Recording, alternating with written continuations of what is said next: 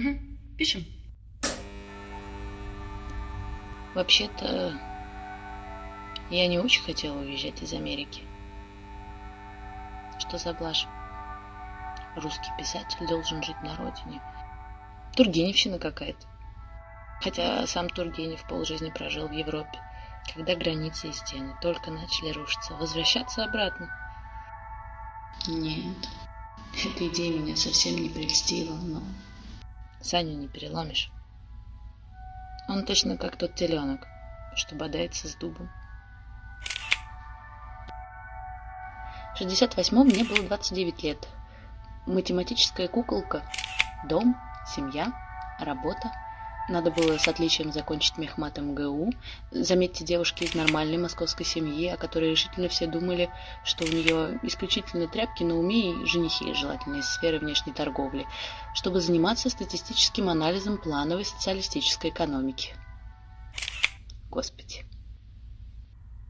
Прожив столько лет в свободном мире, я только сейчас понимаю, какой ерунде были посвящены мои дни.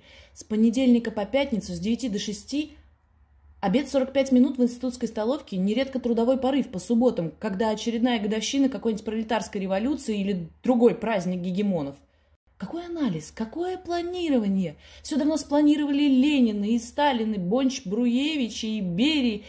Катись колбаской по улице Спасской. Страна большая, дураков много, где не хватит хлеба, спирта подольем.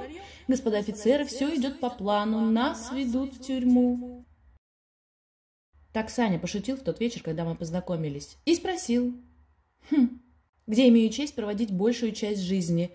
Так и сказал, вместо где работаю, где имею честь проводить большую часть жизни. Помню, ухмыкнула про себя тогда. Тоже мне новый Лев Толстой, зеркало русской революции. И ответила не в попад. Вообще-то я замужем. Угу. Саня только улыбнулся своей монгольской улыбкой.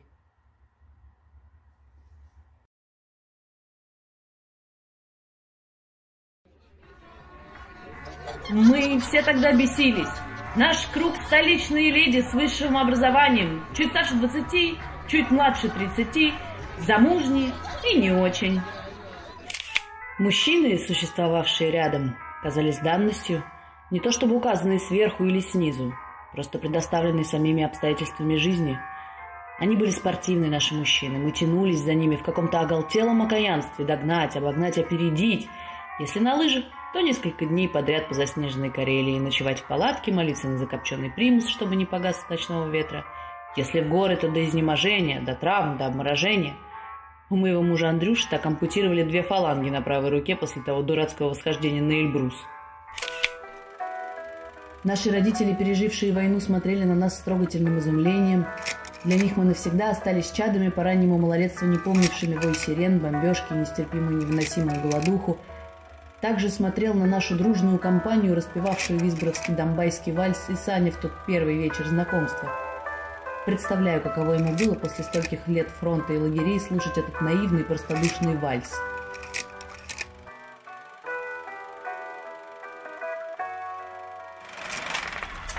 Светлова! Познакомься, это Александр Исаевич. Саня, сказал он. Я еще не такой старый. Действительно, подумала я, какой пустяк 50 лет. Некоторые 80 детей делают.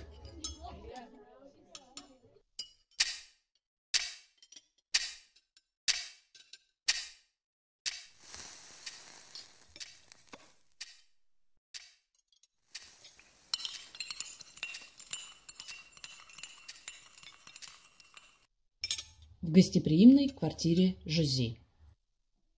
Жозефина де Ладье, все настоящее и имя, и фамилия. Папа, французский коммунист из Комментеровских, сгинул в занюханном 39-м в НКВД. Мама из почтенной московской польской семьи, в 44-м, оставив крошку Жози бабушке, ушла доброволкой войско польское, погибла при форсировании Одера. На лето бабушка и дедушка благоразумно отправляются на дачу, оставив крошке Жизи пространство найти, наконец, постоянного спутника жизни. Тесно, накурено, натоптано. Саня морщится. Я не курю. А пойдемте гулять в сквер. Погода такая чудесная. Мы гуляем, почти не разговаривая. «Светлова?» – спрашивает он. К поэту Светлову не имею никакого отношения. Я сама по себе. Хм. Я, в общем-то, тоже, смеется он. Разумеется, я знаю, кто он. И, разумеется, я читала этого его Иван Денисович. Мне, кстати, не понравилось. Язык суконно тяжелый. Производственная повесть на особенную, конечно, тему. Ну... И письмо это его я читала съезду советских писателей, которое разлетелось сам издатом по всей Москве, где он говорит, что нужно отказаться от всякой от всяческой цензуры и жалуется, что его болезного никто не печатает. Неужели он действительно такой наивный? «Вы правда думаете, что власть может отказаться от своих завоеваний?» – спрашиваю я. «В 50-летие октября, победив в войне. Пол мира уверены, что мы тут строим светлое будущее». «Нет, конечно», – говорит он. «Я понимаю, что из пушки по воробьям не стреляют. Но кто-то же должен первым вступить на заминированное поле». Хитрый какой. Герой. Верно думает, что каждая должна бросаться ему на шею. В следующие выходные я допросила Жузи.